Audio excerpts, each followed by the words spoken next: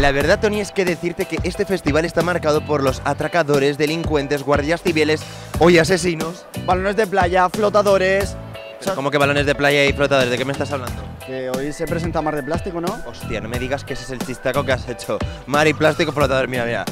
Tony, lo único que os vamos a decir es que esta noche ha habido algo más que actores de Mar de Plástico. Chum chum, tenemos un infiltrado. Pero tendréis que esperar hasta el final del reportaje para saber quién es. Patrick, tienes a las niñas locas por la alfombra roja. ¿Cómo se siente una al pasar por aquí que griten su nombre dos horas? Hombre, es curioso, ¿no? Pero este festival es lo que tiene, es que sientes el cariño del público, de, te, te- te- te abrazan y es algo muy bonito. Yo me gusta venir a este festival, pues en parte por esto, ¿no? Por el cariño de la gente, la ilusión, cómo se vive el festival. Ya te voy a hacer la pregunta favorita de nuestro compañero Javier de Hoyos. ¿Te han tirado ya unas bragas? De momento no, Javi, no, no me han tirado las bragas todavía. Pues Javi, nada, no hay bragas. Pero las habrá. Te has tirado todo el verano en Almería. Sí. Vas a jugar un juego. Por 25 céntimos de euro, cosas que te llevarías a la playa. Cosas que me llevarías a la playa por 25 céntimos. Sí. Oye, me vas a arruinar, ¿eh? Pero cosas relacionadas con la playa.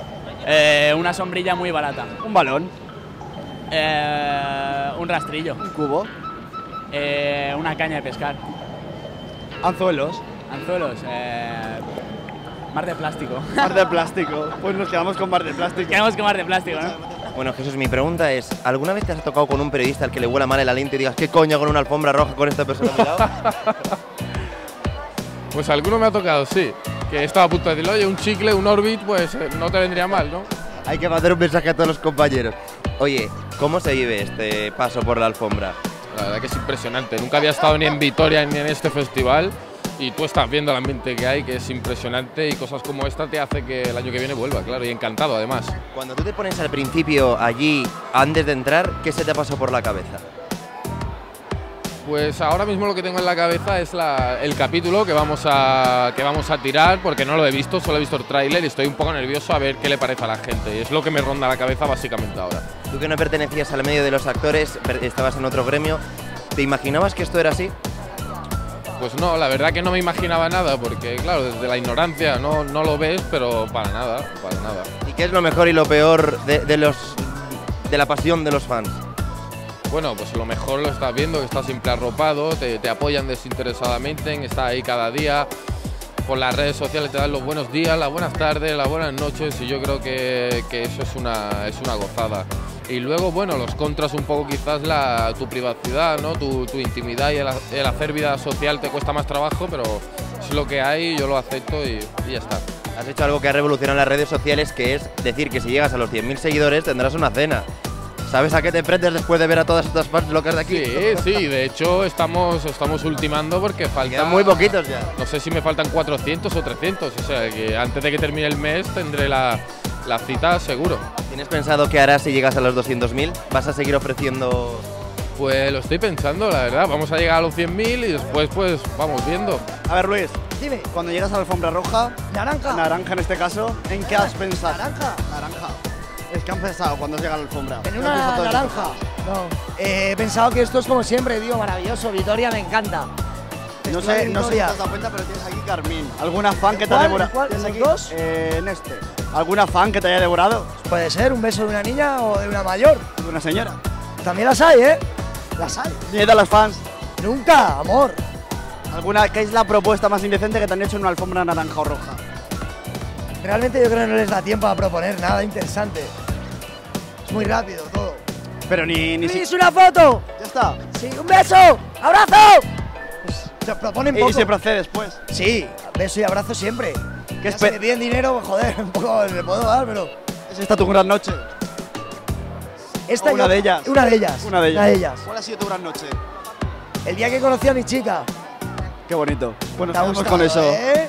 Estoy viendo desde aquí a Rodolfo, no sé desde qué puerta habrá llegado, madre mía. Porque yo creo que este estaba en otro tiempo antes, ¿no? Yo lo que quiero saber es por qué portal has accedido, ¿de, de qué tiempo vienes ahora mismo, por favor? Pues la verdad que vengo de ahí, de la habitación del hotel, de intentar echar una siesta. y ahí es donde tengo la puerta del tiempo yo. Yo creo que sí que has viajado algo en el tiempo porque has conseguido. Estábamos oyendo unos gritos de unas fans que yo recuerdo, recuerdo al salir de clase, de los gritos que te metían cuando estabas en esa La etapa. verdad que sí. ¿Cómo se consigue mantenerse así durante tantos años y que sigas atrayendo tanto al público femenino, masculino, a los niños? Yo intento hacer mi trabajo lo mejor que sé y para mí lo importante es lo que hago de acción a corten y ahí dejo, ahí dejo mi alma y bueno, de momento el resultado es bueno. Te vemos en Antena 3, te vemos en la 1. Yo creo que ya solamente te queda que te veamos en la que se avecina para ser un actor que ya está en todos los lados. En todos lados. Bueno, tampoco hay que estar en todos lados, lo justo. Y cuando salgas de aquí, ¿a qué sitio te gustaría ir si pudieses tener la posibilidad de acceder a un, a un portal del tiempo? Pues me iría a descansar un poco, la verdad, posiblemente al Caribe o algo así. Una de las claves de este tipo de festivales son las señoras que tienen un móvil en su mano. Enseñadme qué fotos habéis hecho. ¿Habéis conseguido la foto con algún famoso? Sí, algunas sí. No, yo ellos no, solo así. Enséñame qué, qué fotos has hecho. ¿Cómo te sientes siendo una fotógrafa profesional? Uy, yo no, yo no soy. Ustedes son de las que se agarran a Rodolfo, le llenan de besos y luego le encontramos marcas por todos lados. No, No, esas son otras. nos gusta. Confesión, hemos encontrado una de las fans.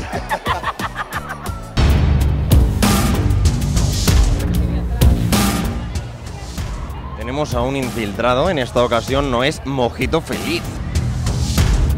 ¡Chicote! ¡Pero qué sorpresa! Pero tú te puedes creer que todo el mundo estaba gritando Rodolfo, tú crees que ya has ido llegar tú y, y has eclipsado a todos.